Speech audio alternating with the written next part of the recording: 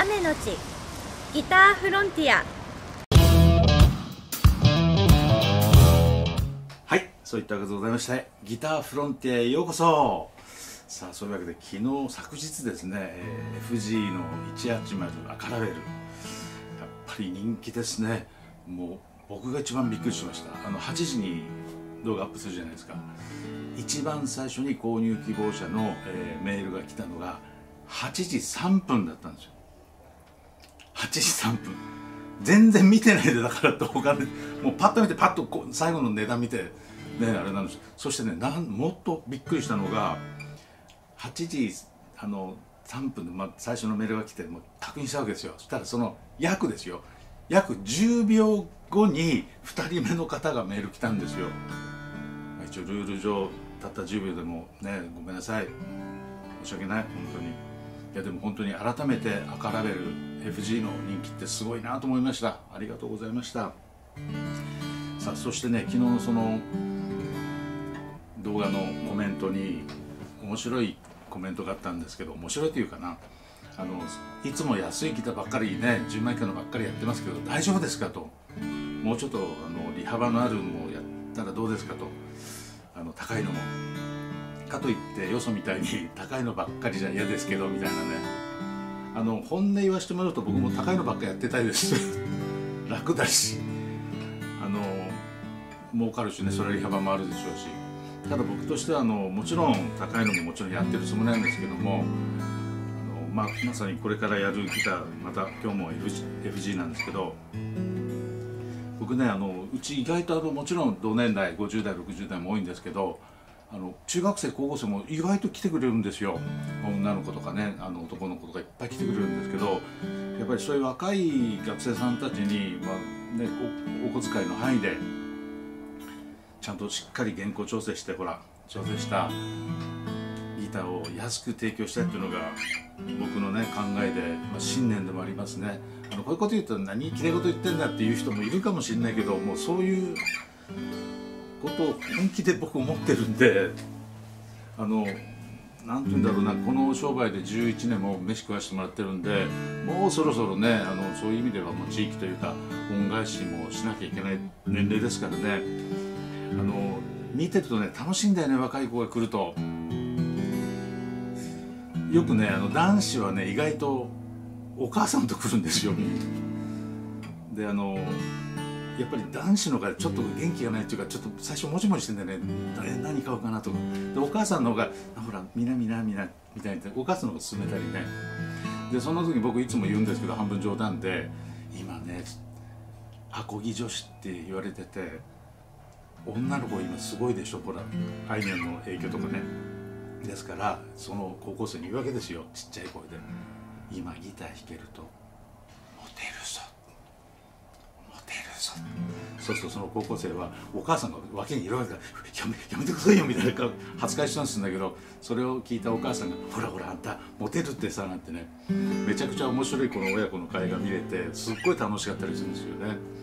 まあ、そんな感じで僕あのこれからも安いギターバンバンやっていきますよ。もちろん高級ギターももちろんやっていきますんでぜひあの高級ギターもね使わないものがありましたら弾いてなかったらご連絡ください。そしてねよく言われるんですよ。あのそんな高いギターじゃないんだけど安いやつなんだけど大丈夫ですか？と。全然大丈夫です。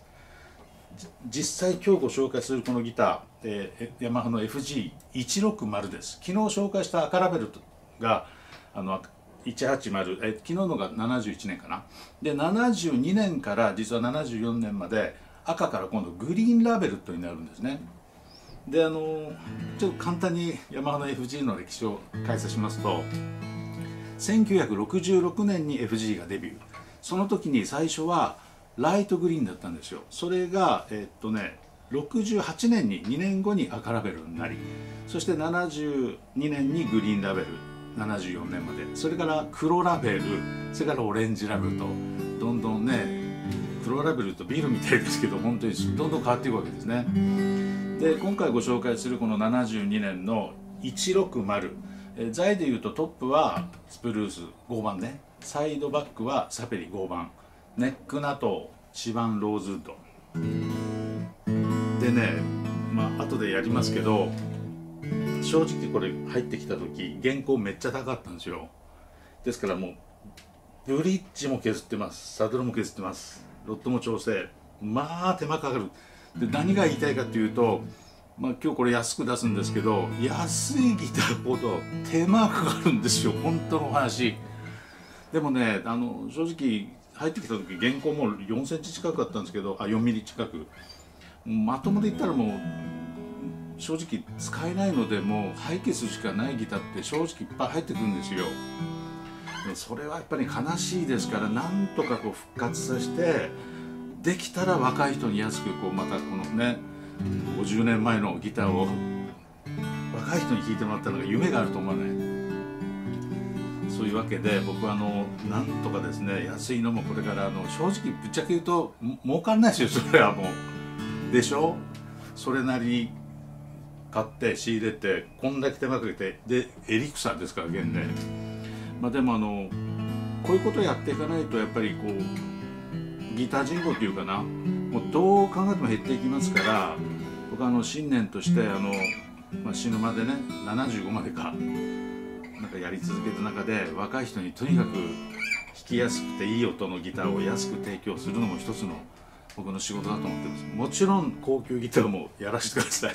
もうそこでちょっと儲け出して本当にそこで飯飯だもんね、まあ、ということでちょっとごめんなさいね。ちょっとなんか自分のことばっかり話して申し訳ない。じゃあ今日こちらのギターの紹介です。でねもう50年というわけで経ってるんですけどめちゃくちゃ実はねこのペグとか金属部分めちゃくちゃ綺麗です。まあボディ部分は若干傷とかもちろんあるんですけどまあまあ状態としてはね50年経ってるにしては僕はいいと思ってます。じゃあ細かいところこちらのカメラでどうぞ。はいそれでは細かいところ見ていきましょう、え、1972年製 FG160 グリーンラベルです。それじゃあ膝の上に置いてまずボディトップからいきましょうか。まああの細かい傷はもちろんありますね。全体的に見ていく、ね、ほら。この辺がこうほら縦にちゃがちゃがっとかほらこの辺もあります。まあ50年経ってますからこの辺はね多少ございます。ただ割れとかそういうのはないのでね。大きな傷だこんはそんなないです。そんなとかないです。細かな傷がちょこちょことあるって感じですね。さあブリッジも削ってサドルも削って限界ですんでよろしくお願いします。さあグリーンラベルと言いながらほとんどグリーンではないです。もう黒っぽくなってます。フレットはねそうだな。意外とそんな減ってなくて7割ぐらい7割は十分残ってると思います。はい。でこのポジションマークが昨日の FG180 赤ラベルよりも少し大きくなってるところが違うところですね。本当に180ってねちっちゃいんですよ。あちょうど隣に置いてあるから見比べてみる？ほら。これ昨日の180ちっちゃいでしょ？ほら。で違うんだよね。そしてちなみにここのほらピックガードの形もここのところは違うね。ほら。見てほら。こう違うでしょ。でもう一回見るとほら。ドット。やっぱだいぶ違いますよね。こっちの方が大きいんですよ。細かいところでだいぶ変わってきます。トラソルドカバーもこっち今度べっ甲風のプラスチック製になりますね。ペグの形もほらちょっと変わってくるんですよ。ヘッドの形も全体的に。こんな感じ。ちょっとほらこんな感じね。ちょっとここに昨日の赤ラベルほら。違うでしょ？でこのトラスロットカバーも金属製で鋭角になってるんですよね。だいぶ違いますよね。たった1年の違いでこんな風に変わってます。はい。サイド。サイドそんなにね傷ザコンここにちょっとすった感じ。後ろもねここにほら横にちょちょっと吸ってる感じ。あと下にもちょちょっと。まあこの辺は何度も言いますけど50年経ってますから傷がない方がおかしいんで。はい。ネックもは綺麗。でちょちょんちょんとこれ傷がある。そして見てこのペグ。ちゃんとケース付きオープンタイプではないです。ちゃんとヤマハのロゴが入ってます。これもね金属のくすみそんななくて綺麗なんですよ。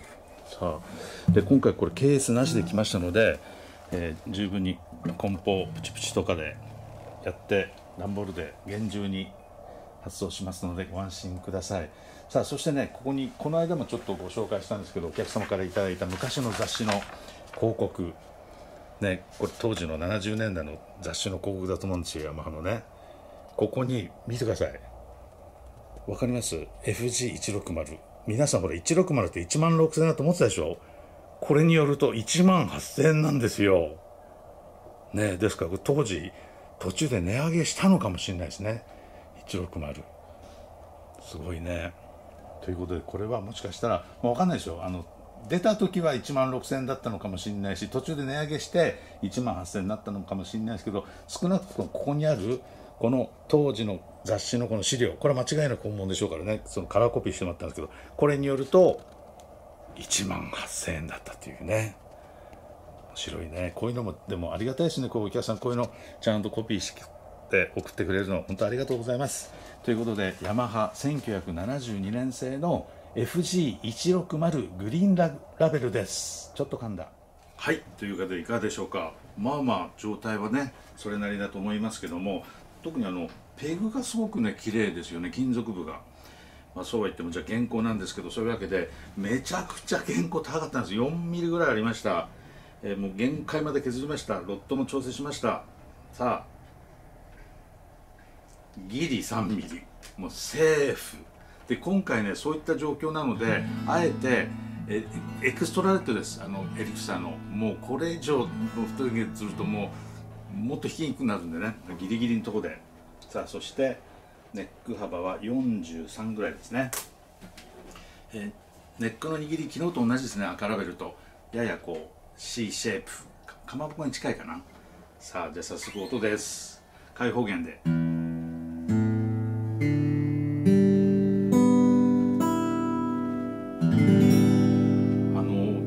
の動画とね比べてほしいんですけど力強さ元気良さはやっぱり180赤ラベルなんですけどこっちね繊細な音がする。サウンドホル真上で。ほら。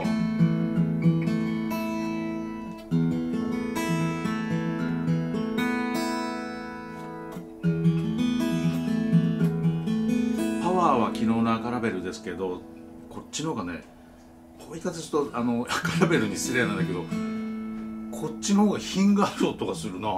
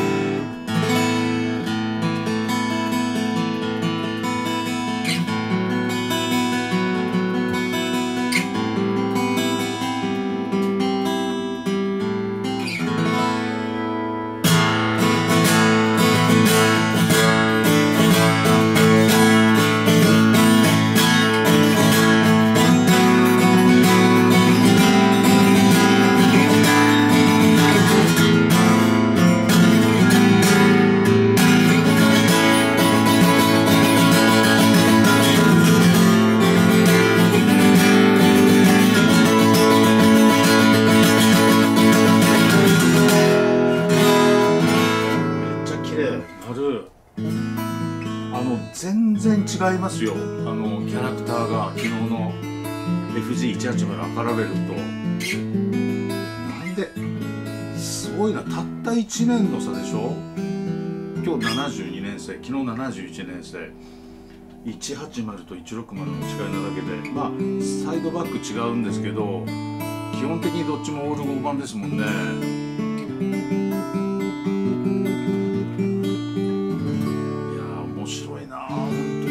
ジャパンヴィンテージ奥が深い。そしてヤマハの FG シリーズめっちゃ奥が深い。だから FG シリーズに集めてる人よくいるんですけどわかるわ。もう一本一本違うんだもんな本当に。ちなみにあの微妙にこの形も違うんですよ昨日の。あのこうなってるのね赤ラベのやつはねもうみんな細かいとこもちろんペグも違うしね。あとヘッドの形がまず圧倒的に違うか。でみんなちょっと微妙に全部違うんですよ。マニア心をくすぐるわ。もちろんね今日のこのギターはそういうわけであの当時の、えー少年たち、まあ、現在おっさんあるいはじじいにももちろん買ってほしいんですけど僕としてはねあの本当にさっき言った若い中学生高校生にこの50年前のギターをね弾いてなんか音楽楽しんでほしいなと思うんですけど、まあ、それはもう誰が買ってもいいんですけども、まあ、よろしくお願いします。じゃあお値段なんですけどもこちら、えー、税込みで1万9800円です。ヤマハ72年グリーンラベル FG160 が1万9800円。正直そんな高級ギターではないんですけどもこういったあの歴史がある一つ日本のねある意味文化であり宝かなこういうのをこう次おっさんたちじゃなくて若い人にやっぱなんかつないでほしいなと思うんでしょうね。そしてその若者今の若者たち、えー高校生とかがじじいになった時にこれをねあと何？今の10代がじじいってことはもう50年後？ってことはこれ100年後ももしかしたら上手にも使えばギターとしてこの地球上にあるって考えるとめちゃくちゃワクワクしない。そう考えると楽しいよね本当にね。もうそんなことをちょっと最近つくづく考えてる今日この頃でございます。すいません今日はあのなんか語ってしまいましたごめんね。うざいわと思った人も多いと思うんですけどまあ気にしないで。そういうのはねまあ、まあそういうこと言うってことで俺も自信になってたかもしれないですね。はいということで今日もですね最後まで見ていただきましてありがとうございました。明日はですねうーんと何にしようかな。いろいろあるんですよもう整備っていうか仕上げが間に合わないんだよね。いいの入ってますから。明日は高級です。明日は高級ギターです。明日は儲け出してお願い。よろしくお願いします。ということでまた明日お会いいたしましょう。ありがとうございました。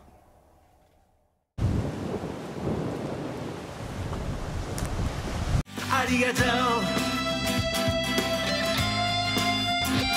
ありがとう。